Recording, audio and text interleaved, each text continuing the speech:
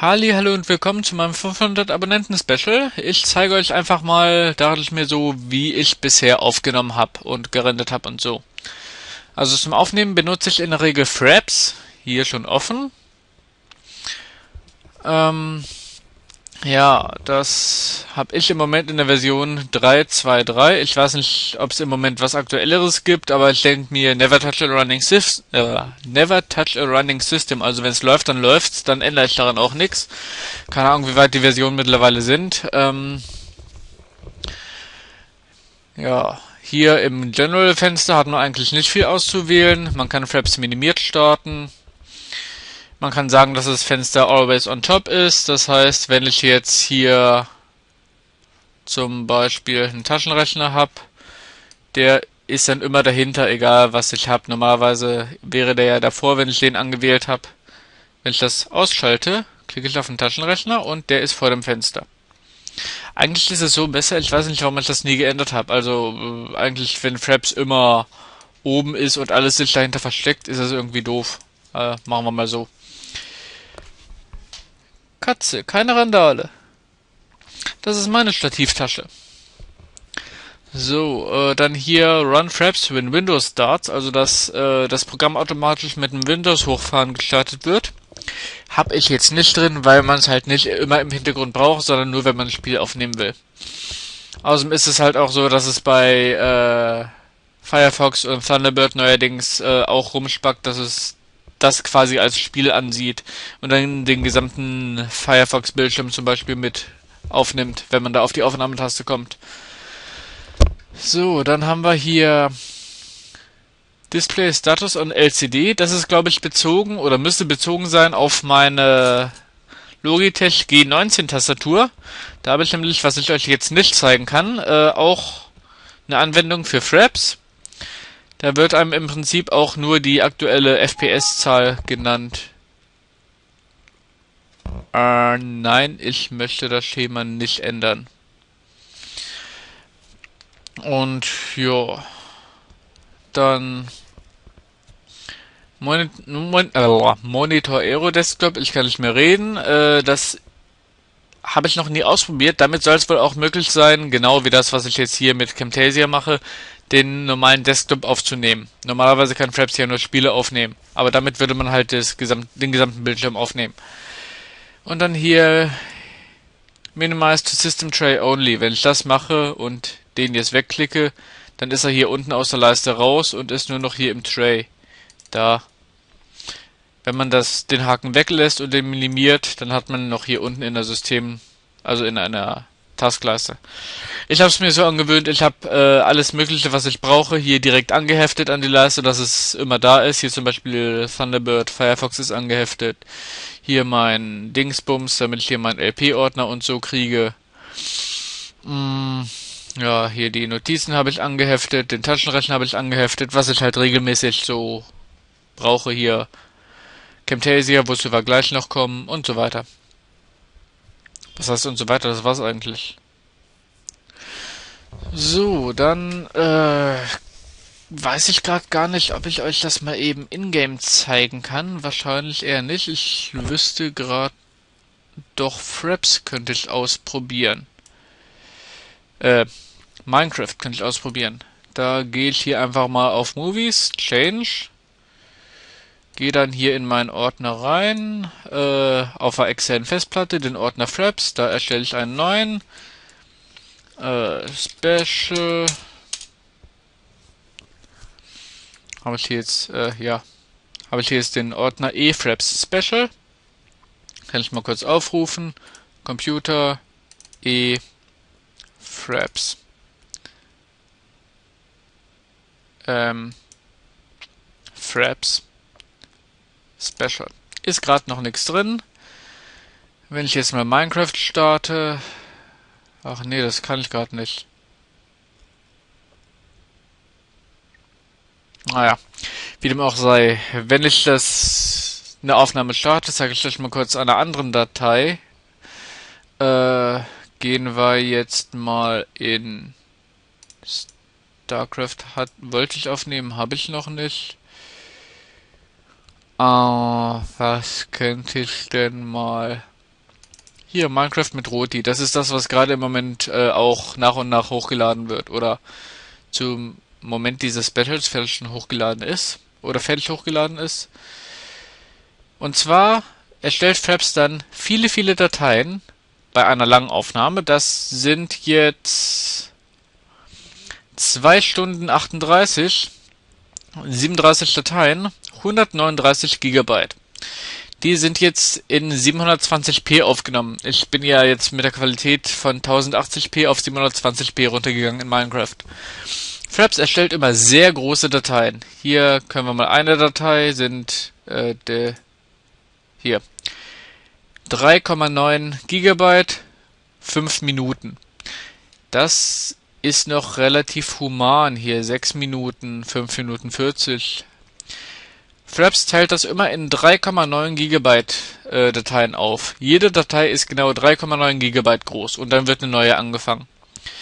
In meinen 1080p Aufnahmen hatte ich es teilweise, dass noch nicht mal eine Minute pro Gigabyte äh, gepasst hat.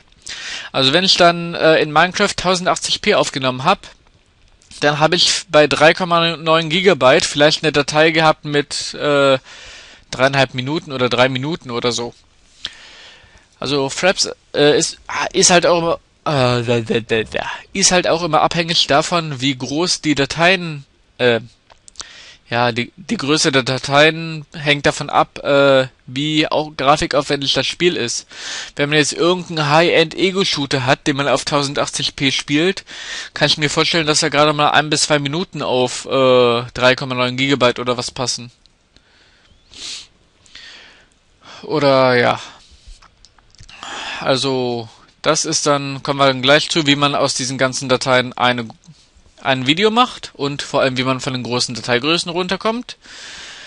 Ähm, ja, so viel wäre dazu eigentlich nicht mehr zu sagen. Wichtig ist dann noch hier bei Fraps die Aufnahmetaste. Video Capture Hotkey.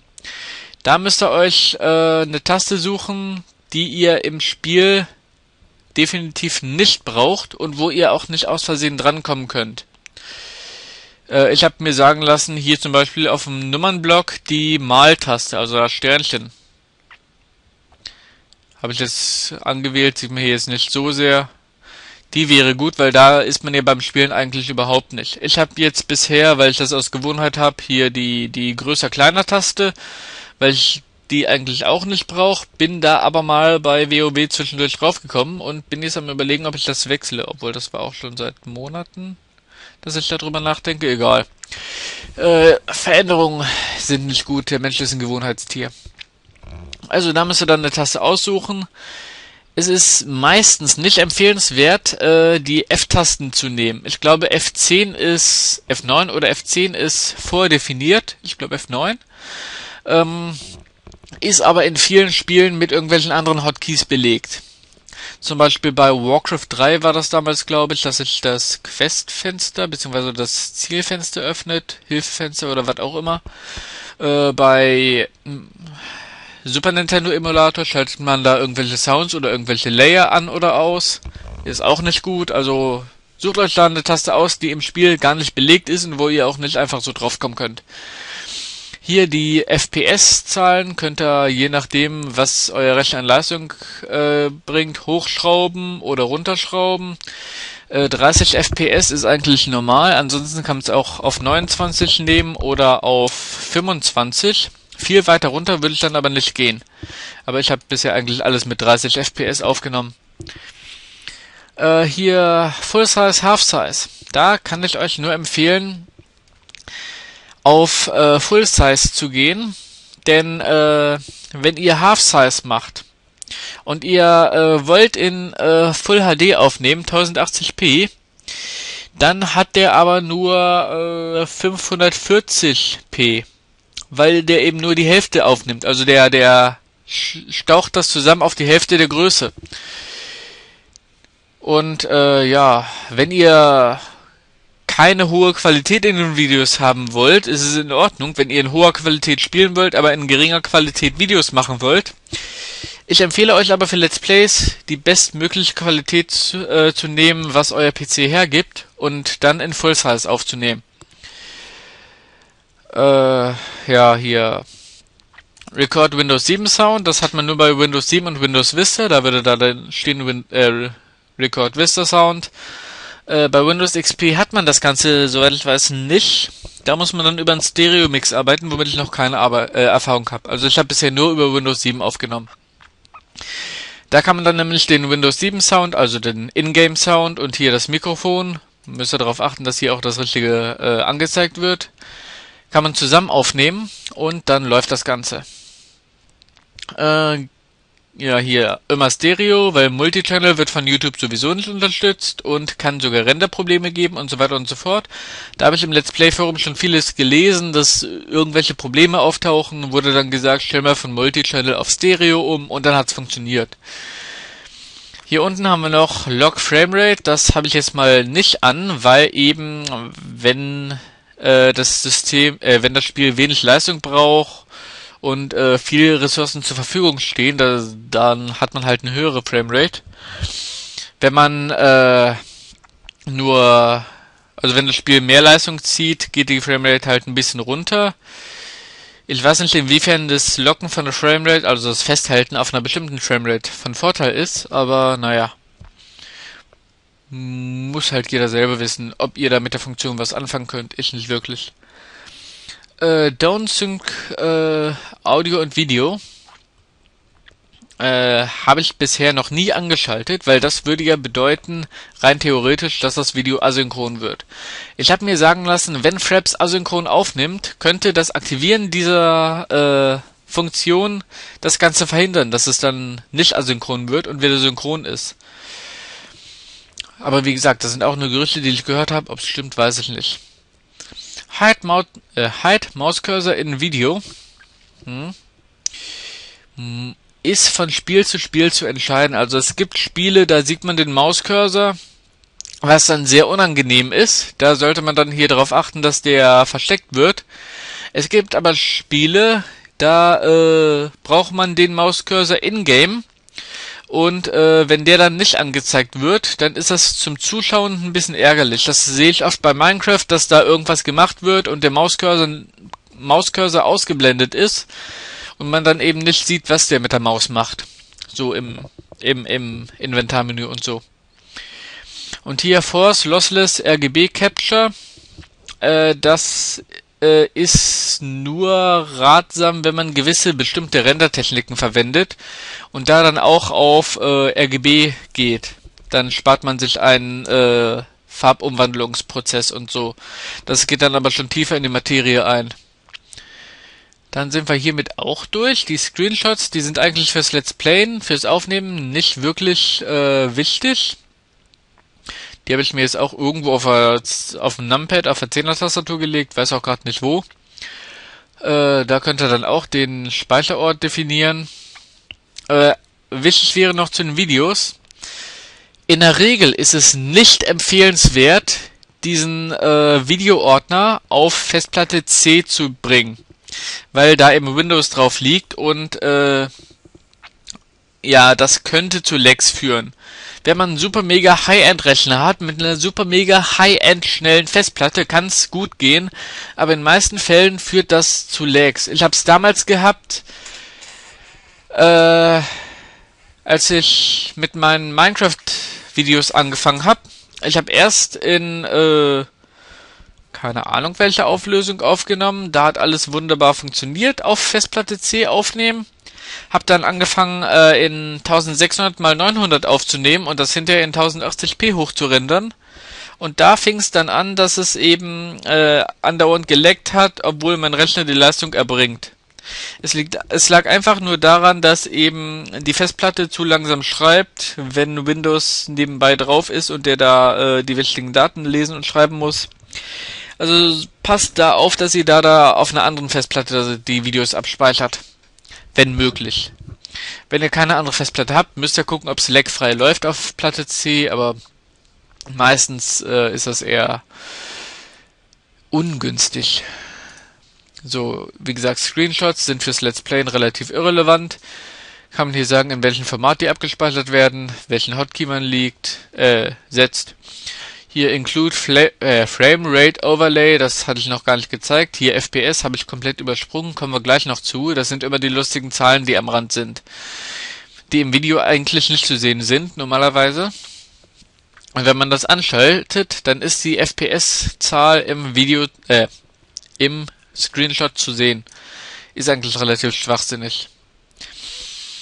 Und jetzt kann man hier noch anwählen, dass wenn man jetzt einmal die Screenshot-Taste drückt, dass er dann alle paar Sekunden einen Screenshot macht, bis man die Taste nochmal drückt. Also im Prinzip, äh, ja, permanente Screenshots. Wer es braucht, kann man eventuell für irgendwelche Trailer oder Dia-Shows benutzen, muss man aber nicht. So, dann kommen wir zum letzten Punkt, FPS. Äh, da kann man hier Benchmarks äh, machen, mit denen ich mich noch gar nicht beschäftigt habe. Also mit Benchmarks kann man halt die Leistungsfähigkeit des PCs auslesen, inwiefern Fraps da was äh, ausliest oder Daten angibt. Habe ich noch nicht angetestet. Muss man dann, müsste man dann mal gucken. Äh, hier kann man sagen, was in einem Benchmark äh, sein soll, die FPS, Frame Times, Minimum, Maximum und Durchschnitt äh, und dann, ob der Benchmark automatisch nach einer bestimmten Zeit gestoppt werden soll.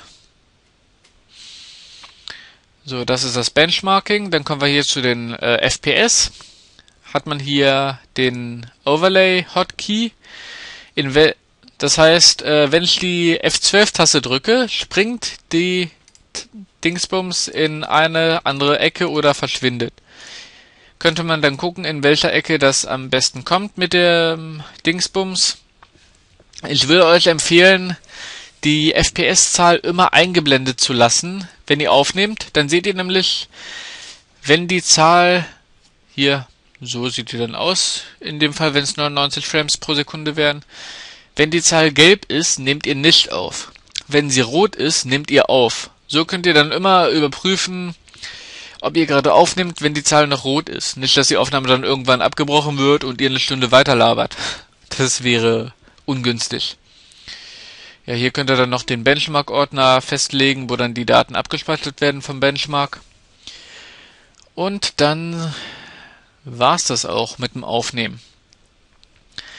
Man könnte noch hier mit äh, Camtasia äh, Dingsbums hier Screen Capture aufnehmen, was ich im Moment mache, ist aber wirklich nur für Des Desktop-Aufnahmen gedacht, nicht für Spiele. Das ist dann hier, wenn man Camtasia hat, äh, Bildschirm aufnehmen. Und da könnte man dann hier direkt den ganzen Bildschirm mit Camtasia aufnehmen.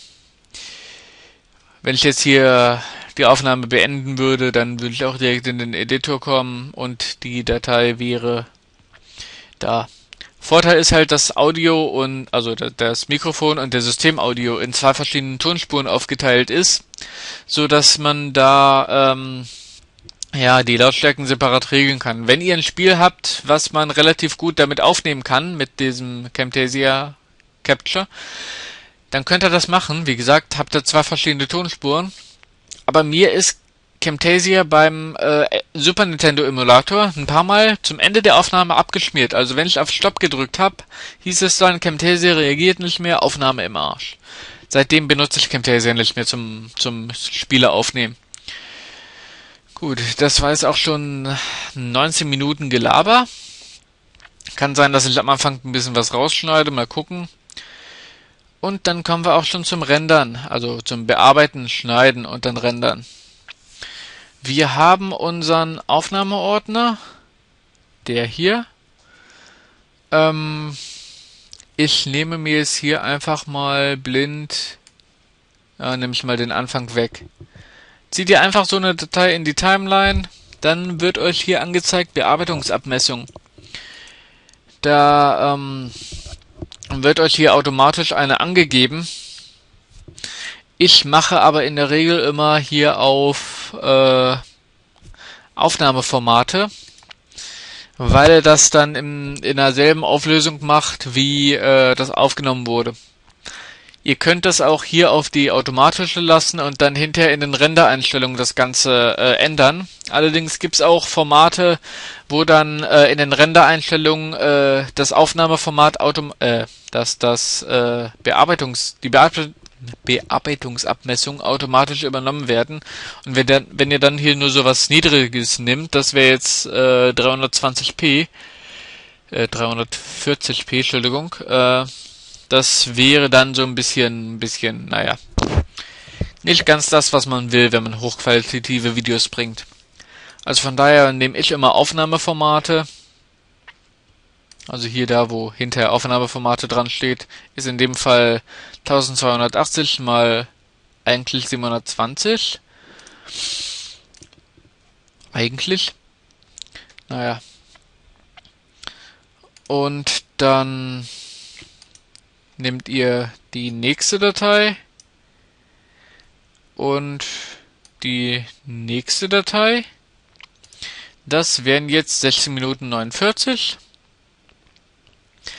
Ihr müsst dann halt immer mal gucken, wenn ihr äh, eure Let's Plays so aufnehmt, dass ihr eine Stunde am Stück aufnimmt und die dann zurechtschneidet, äh, müsst ihr dann gucken, wo ihr den Schnitt setzt. Ansonsten, wenn ihr euch, äh, wenn ihr die Zuschauer zu Beginn des Parts begrüßt und zum Ende des Parts verabschiedet, dann müsst ihr ja nur von Anfang bis Ende der Aufnahme die hier reinziehen. Und dann haben wir das hier. Ich kann da mal eben reingucken. Da der Anfang.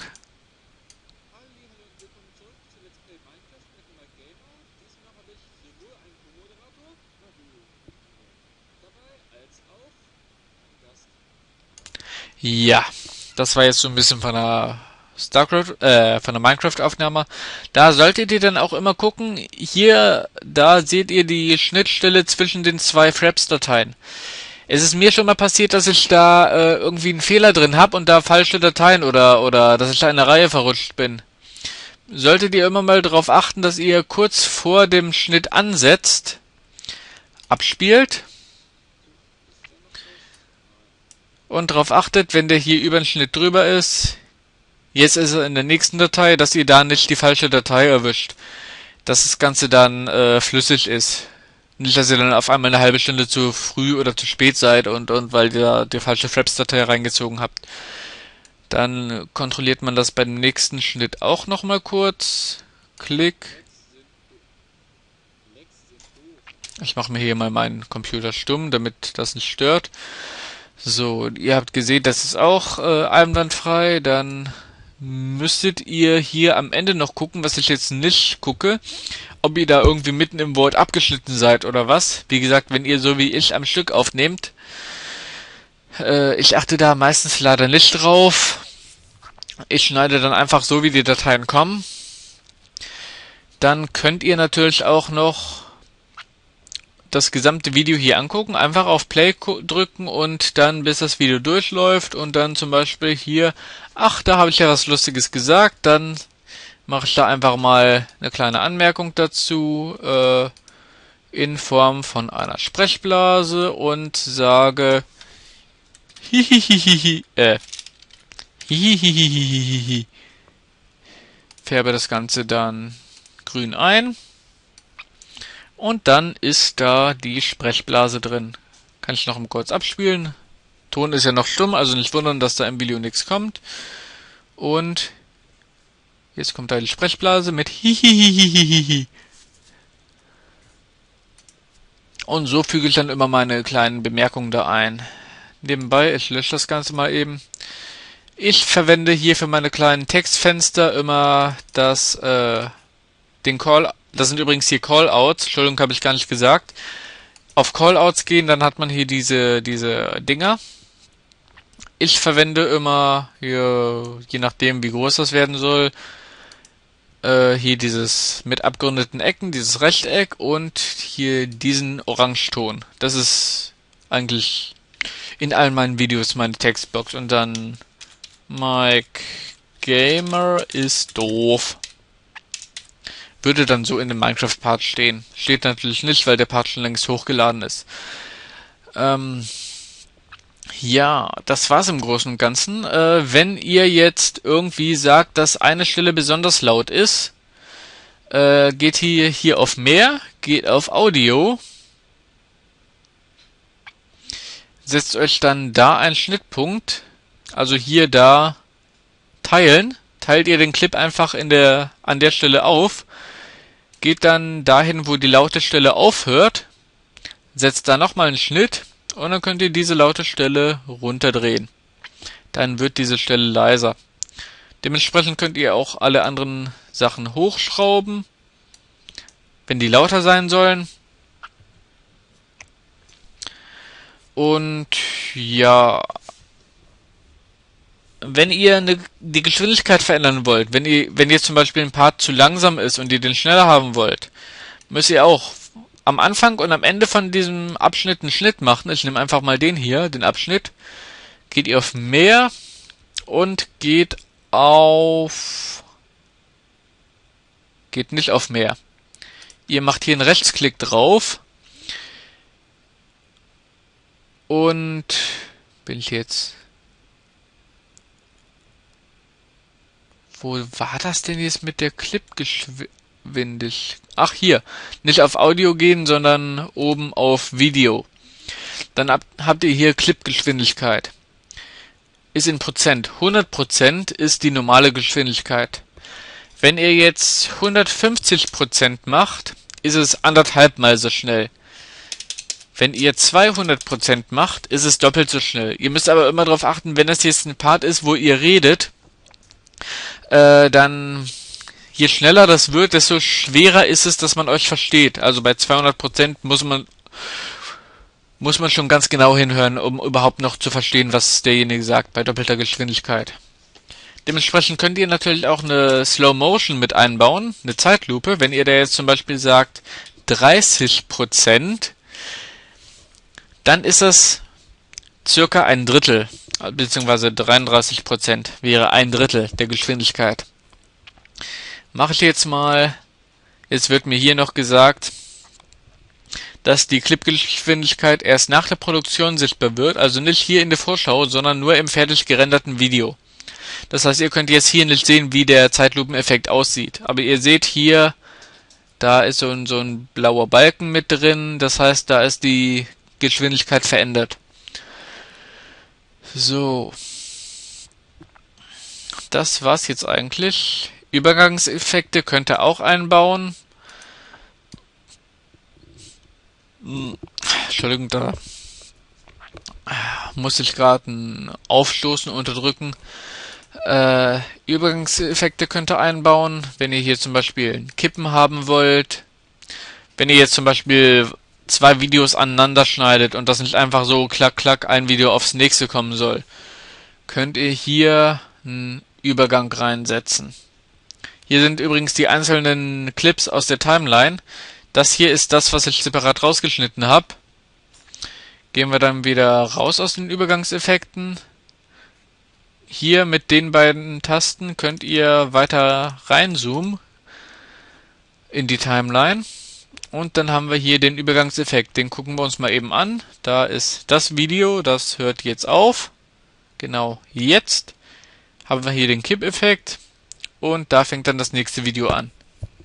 Sieht man jetzt keinen großen Unterschied, aber es wäre dann halt der andere Clip.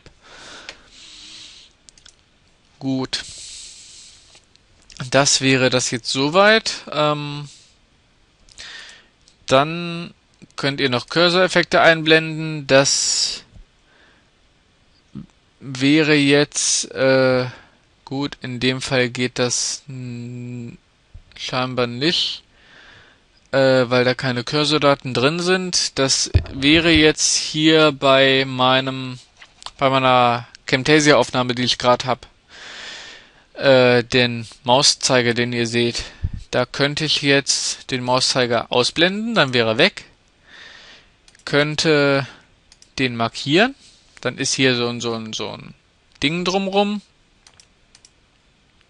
Könnte dann einen Effekt einbauen. So würde es dann aussehen, wenn ich einen Klick mache. Könnte hier so eine Welle machen, wenn ich einen Rechtsklick mache. Könnte sogar noch einen Soundeffekt für jeden Klick einfügen. Und ja, wie gesagt, hat jetzt hier keinen Einfluss drauf, weil eben äh, da keine Cursordaten von Fraps gespeichert werden. Äh, ja, dann kommen wir zum Rendern. Ich habe mir da schon so ein paar Projekte, also ein paar fertige Sachen gemacht. Hier Digicam ist ein Profil, was ich eigentlich löschen kann, weil die Digicam von meinem Vater, dafür war das ausgelegt, die ist kaputt. Da habe ich mir ein spezielles Profil für erstellt mit eigenen Renderdaten. Hier Block, CD, DVD-kompatibel, HD, Internet, iPhone, iPod und Benutzer definiert und Profil hinzufügen, bearbeiten und die beiden hier unten, die sind von vornherein da. Separat erstellt habe ich mir 1080p HD für meine Minecraft-Videos, 720p MP4, weil ich eigentlich alles in 720p rendere, dann nehme ich meistens das Profil. Ähm, und hier SC1. Das habe ich mir gemacht für meine StarCraft-Videos, weil ich die ja doppelt rendern muss, wegen diesen Hintergrundbildern. Das geht mit Camtasia nur mit einem kleinen Trick, den ich jetzt aber auch nicht unbedingt in das Tutorial reintun will. Äh, was zu sagen wäre, wenn ihr äh, ja wenn ihr hier Internet nimmt, dann nimmt er zum Beispiel die Bearbeitungsabmessung. Und da ist es dann wichtig, dass ihr als Bearbeitungsabmessung äh, hier eine vernünftige Dateigröße, also eine Abmessung nimmt, eine Auflösung und nicht irgendwie eine automatisch gewählte kleine Auflösung, sondern wie gesagt die Aufnahmeformate am besten. Weil er sonst, ups, jetzt habe ich Enter gedrückt, weil er sonst hier äh, halt nur die kleine Auflösung nehmen würde und das dann im in einer schlechten Qualität drüber kommen würde. Ja, dann wählt ihr hier, ich nehme jetzt hier mein 720p Profil, geht dann auf Weiter, sage hier, in welchem Ordner der gespeichert wird. Da habe ich hier äh, auf meinem Desktop den LP-Ordner, der im Moment nicht vorhanden ist, weil ich den äh, erstmal weggetan habe, weil ich meinen Desktop aufgeräumt habe. Da muss ich noch diverse Sachen löschen. Muss mal wieder aufräumen. Und dann hier in LP fertig gerendert. Ich kann, kann, euch ja mal kurz zeigen, wie mein LP-Ordner im Moment aussieht. Das wäre der da.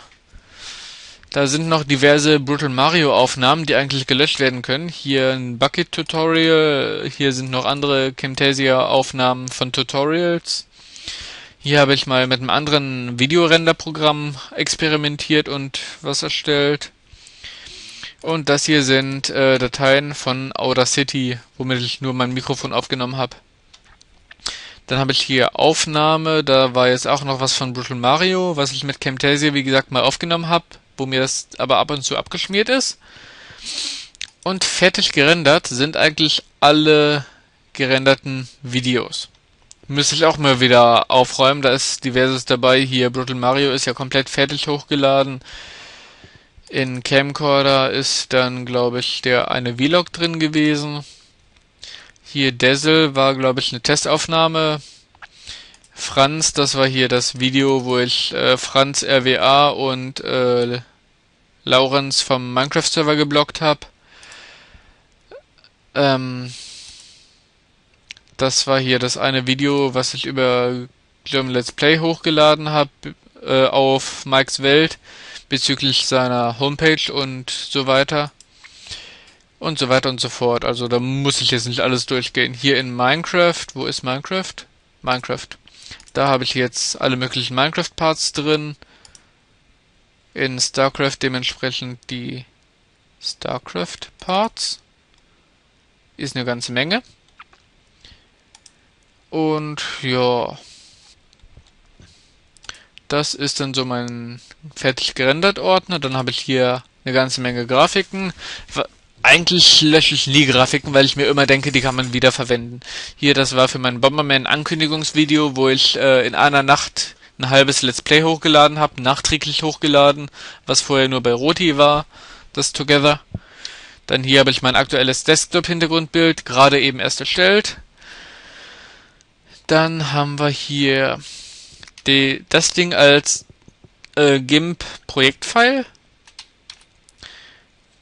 Äh, beziehungsweise, ja, es ist, ist ja eigentlich relativ sinnfrei hier. Video Background habe ich die Hintergrundbilder für meine Let's Plays für Super Nintendo und für StarCraft. Ähm, ja, hier für den Kanal Das sollte eigentlich mal ein Kanaldesign werden. Sollte mal werden. Habe ich aber keinen großen Nerv zu gehabt, dran zu arbeiten. Äh, ja. Egal. So, wenn ich jetzt, also da, da bin ich gerade total vom Thema abgewichen. Wir waren hier beim äh, beim Videorendern. Also hier den Ordner auswählen. Wenn ich jetzt auf Fertigstellen drücke, würde er anfangen zu rendern. Und hier, das sollte ich mal rausnehmen, äh, Video nach Produktion wiedergeben, weil das nervt mich manchmal ein bisschen, dass er das gleich abspielt. Braucht man eigentlich auch gar nicht. Und dann hat man hinterher eine solche Datei, äh, nee, jetzt habe ich den wieder zugemacht, egal. Hat man hinterher eine, oder gucke ich nochmal rein, eine MP4-Datei, die dann in etwa,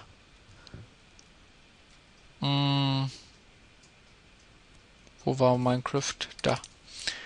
Die dann in etwa so aussieht. Also so ist jetzt der gesamte Ordner, das würde ich jetzt hier auch direkt öffnen können. Äh, lassen wir mal. Würde ich hier direkt die HTML-Datei öffnen können, obwohl... Was soll der Geiz? Zeige ich euch mal eben. Kann ich die hier so reinziehen? Wahrscheinlich.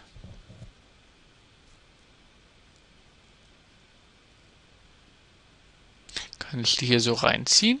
Ja. würde der das gleich so öffnen, hat einen eigenen Flash-Player, das sind halt hier die ganzen Dateien, da, das, das, das, das. Hier diese MP4-Datei ist das eigentliche Video. Das könnt ihr dann auch mit VLC oder Windows Media Player oder was auch immer öffnen. Und das ist dann die Datei, die auch hinterher auf YouTube hochgeladen wird. Das ist jetzt ein komplettes Video, was vorher mit Fraps in vielen, vielen kleinen Dateien aufgeteilt war. Das waren jetzt 14,1 Minuten. Naja. So. Das war's jetzt im Prinzip auch mit dem Tutorial, wie ich aufnehme und rendere. Es kann sein, dass ich demnächst mein Renderprogramm wechsle, aber bisher habe ich Seit Anfang meiner Let's Play-Karriere mit Fraps aufgenommen und mit Camtasia gerendert. Bis auf diverse Experimente zwischendurch. Gut, das war das jetzt. Dann kann ich eigentlich mich wieder von euch verabschieden. Das war jetzt auch über eine halbe Stunde Videomaterial. Ich werde das Ganze dann noch, ja, allzu viel zu bearbeiten ist ja nicht. Ich werde das Ganze dann durchrendern, warten bis ich meine 500 Abonnenten voll habe Heute am 25.08. habe ich ja noch keine 500 voll. Und dann ja, sehen wir uns beim nächsten Let's Play, beim nächsten Vlog oder Meinungsvideo oder im nächsten Tutorial wieder. Ich sage bis dahin und tschüss, euer Mike Gamer.